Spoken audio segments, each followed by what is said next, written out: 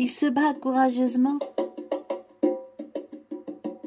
Je le soutiens à travers les flots déchaînés.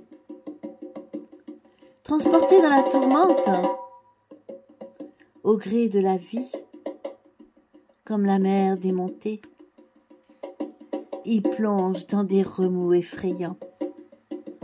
Moi, je suis la crête d'une vague surgissant, et il s'en sort